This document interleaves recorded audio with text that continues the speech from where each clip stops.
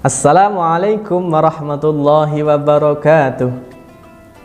Alhamdulillahirrabbilalamin Bertemu lagi dengan Ustadz Faisal Pada mata pelajaran pendidikan Al-Islam untuk kelas 3 Tetap semangat anak-anak ya. Mudah-mudahan anak-anak tetap sehat Dan senantiasa dalam perlindungan Allah Subhanahu Wa Taala. Amin. Langsung saja kita masuk materi pada pembelajaran kali ini. Kita melanjutkan materi yang lalu di materi kali ini kita masuk pada bab 2 ya, bab 2 berjudul Asmaul Husna. Ya, kita akan membahas Asmaul Husna. Apa itu Asmaul Husna dan asma yang mana yang akan kita bahas. Oke, anak-anak semua, terlebih dahulu kita pahami dulu apa itu Asmaul Husna. Apa anak-anak? Ada yang sudah tahu? Asmaul Husna artinya adalah nama-nama yang baik bagi Allah Subhanahu wa taala. Jadi Allah itu memiliki nama-nama yang baik. Ya. Jumlahnya berapa? Ada 99 menurut hadis ya. Dan semua tadi jumlah 99 nama baik tadi semuanya tercantum di dalam Al-Qur'an. Ya, jadi Allah memiliki nama-nama yang baik yang berjumlah 99. Namanya adalah Asmaul Husna. Ya sifat-sifat yang baik bagi Allah Subhanahu wa taala. Nah, karena jumlahnya banyak 99, maka kita tidak mungkin bahas semuanya. Untuk saat ini kita membahas empat saja. Ya, apa saja? Yang pertama adalah al-musawwir, yang kedua adalah al-alim, yang ketiga adalah as-sami, dan yang keempat adalah al-basir. Al-basir ya. Al-musawwir, al-alim, as-sami' al-basir. Ya. Kita bahas satu persatu. Yang pertama adalah al-musawwir. Al-musawwir ini artinya adalah yang maha pembentuk rupa. Al-musawwir artinya yang maha pembentuk rupa. Karena Allah ini adalah Tuhan kita yang wajib kita yakini, Allah juga yang menciptakan seluruh makhluk alam semesta dan isinya itu Allah yang menciptakan tanpa bantuan siapa pun. Nah, Allah di setiap menciptakan sesuatu itu membentuk rupanya yang berbeda tentunya ya. Manusia dengan hewan berbeda, dengan tumbuhan berbeda. Di situ Allah yang membentuk rupa kita. Bahkan sesama manusia saja, rupa kita berbeda, beda. Coba perhatikan rupa kita dengan adik kita berbeda. Rupa kita dengan teman kita berbeda. Rupa kita dengan orang tua, dengan saudara, dengan tetangga berbeda semua. Nah, yang membentuk rupa ini siapa? Allah Subhanahu wa taala. Maka Allah memiliki sifat al-musawwir yang maha pembentuk rupa jadi semua ciptaan itu berbeda-beda. Kecuali kalau manusia ada yang kembar ya, kembar wajahnya nah itu sama. Tapi selain yang kembar semuanya berbeda-beda. Ya, gitu. Nah, untuk meneladani sifat al-musawwir, maka kita harus selalu bersyukur kepada Allah. Ya, karena kita diberikan rupa. Manusia ini diberikan rupa yang terbaik di antara ciptaan Allah yang lain. Ini luar biasa.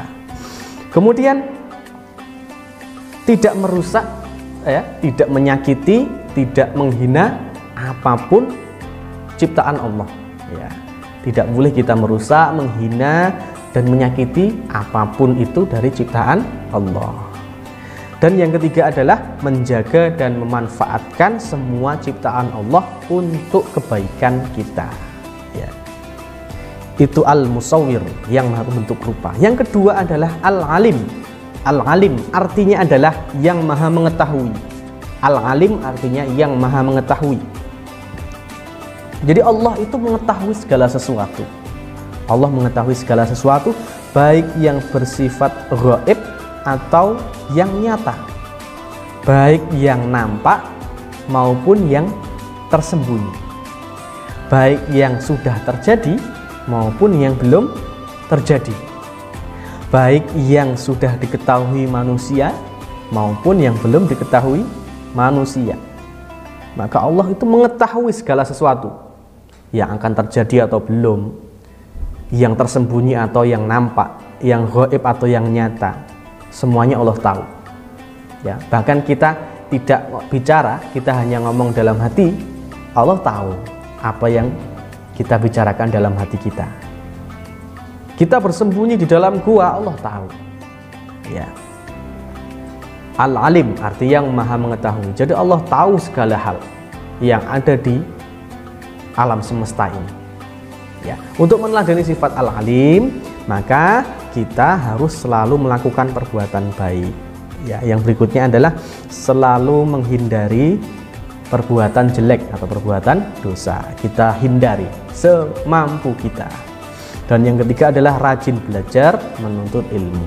Nah, itu untuk meneladani sifat al-alim yang artinya yang maha mengetahui. Yang ketiga adalah as-sami' ya. Tulisannya al-sami' tapi cara membacanya adalah as-sami' ya. Artinya adalah yang maha mendengar. Ya, kalau al-alim yang maha mengetahui, kalau as-sami' ini adalah yang maha mendengar. Jadi Allah Subhanahu wa taala bisa mendengar apa pun ya yang ada di dunia ini, yang ada di alam semesta ini. Bisa mendengar semua ucapan perkataan ciptaannya ya. termasuk manusia.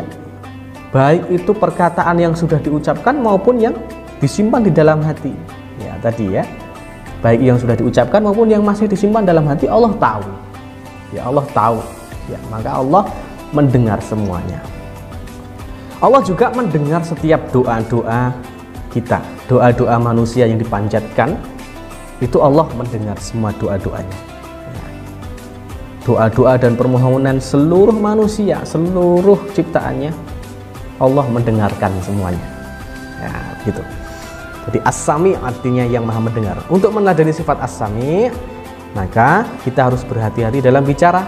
Karena ternyata Allah mendengar semua percakapan kita yang kedua menggunakan telinga kita untuk mendengarkan sesuatu yang baik-baik saja dan yang ketiga adalah selalu berdoa memohon kepada Allah.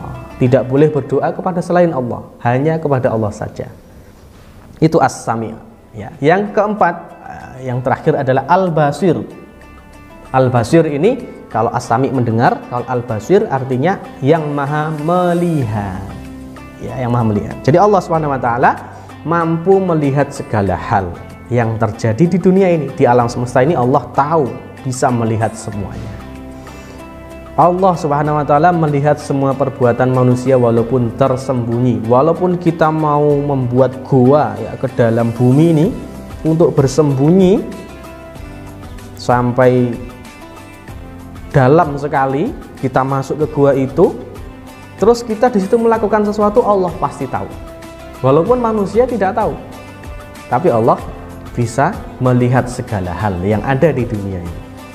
Nah, untuk meneladani sifat al-basir, kita harus berhati-hati dalam berbuat. Ya, jangan berbuat sesuka hati karena ternyata Allah tahu, Allah bisa melihat semua perbuatan kita. Maka lakukan perbuatan yang baik dan jauhilah perbuatan yang buruk.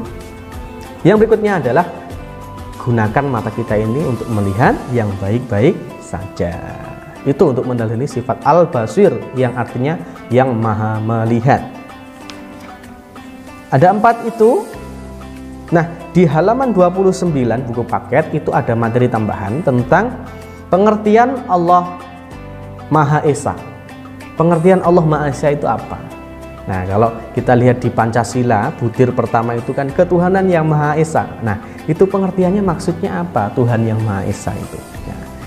Jadi, selain Allah memiliki sifat tadi empat, ternyata Allah juga memiliki sifat yang lain, ya. Yaitu Allah Maha Esa ya Al Ahad ya Al Ahad Al Ahad itu artinya Maha Esa yang Maha Esa ya. Esa itu artinya apa? Esa itu artinya tunggal. Jadi tidak ada Tuhan selain Allah. Hanya satu tunggal ya Esa itu artinya tunggal jadi Allah itu tunggal ya, satu tidak ada Allah Allah yang lain tidak ada Tuhan yang lain hanya satu, hanya tunggal. Ya, Allah itu esa. Itu. Artinya Allah Maha Esa itu artinya tidak ada satu zat yang menyerupai dengannya. Tidak ada satu zat pun yang sama dengannya. Ya. Yang kedua, hanya Allah saja yang memiliki sifat-sifat mulia dan tidak ada satupun yang menyerupai sifat-sifatnya. Ya. ya. Dan yang ketiga, hanya Allah saja yang boleh disembah dan diibadahi. Tidak boleh menyembah yang lain. Tidak boleh menyembah berhala. Tidak boleh menyembah matahari. Tidak boleh menyembah bulan. Tidak boleh menyembah pohon. Tidak boleh menyembah batu besar yang boleh diibadahi dan disembah hanya Allah Subhanahu wa taala. Nah, keesaan Allah itu dapat kita lihat pada kalimat syahadat tauhid. Syahadat tauhid sudah tahu ya anak-anak ya? Asyhadu an la ilaha illallah. Artinya saya bersaksi bahwa tiada Tuhan selain Allah. Hanya Allah saja Tuhan kita. Itu kita sebagai muslim kalau kita mengaku beragama Islam kita harus yakin itu hanya Allah saja Tuhan kita, tidak ada Tuhan yang lain. Asyhadu an la ilaha illallah. Nah, keesaan Allah ini bisa kita lihat di Al-Qur'an ya, di surat Al-Ikhlas ayat 1 sampai 4. Nah, surat Al-Ikhlas sudah paham ya, sudah hafal ya anak-anak ya. Bismillahirrahmanirrahim. Qul huwallahu ahad. Allahus samad. Lam yalid wa lam yulad wa lam yakul lahu kufuwan ahad. Qul huwallahu ahad. Dia Allah yang Maha Esa. Allahus samad. Allah adalah Tuhan yang bergantung kepadanya segala sesuatu. Kita bergantung kepada Allah, hewan bergantung kepada Allah, alam semesta bergantung kepada Allah.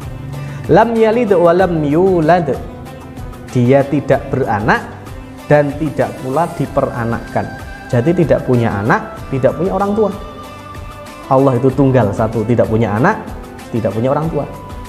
Nah, walam yakul lahu kufuan ahad dan tidak ada seorang pun yang setara dengan dia, dengan Allah. Itu artinya di surat Al-Ikhlas ayat 1 sampai 4. Sudah paham ya anak-anak ya? Materi kita cukup sampai di situ. Sebelum kita akhiri, silakan nanti anak-anak kerjakan tugasnya di buku paket ini halaman 35 dan halaman 36 ya. Halaman 35 dan halaman 36 itu sebagai tugas anak-anak bisa dikerjakan di buku paket ataupun di buku tulis. Terserah anak-anak semua. Begitu sudah jelas ya. Alhamdulillahirrabbilalamin kita akhiri. Kurang lebihnya mohon maaf. Wassalamualaikum warahmatullahi wabarakatuh